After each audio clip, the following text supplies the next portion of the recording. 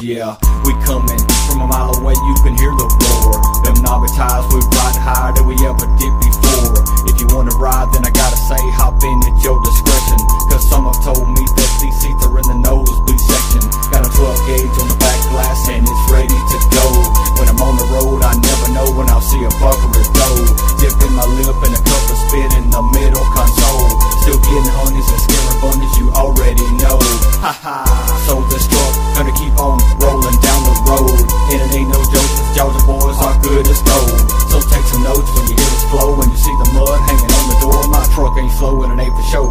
We jack 'em up and then we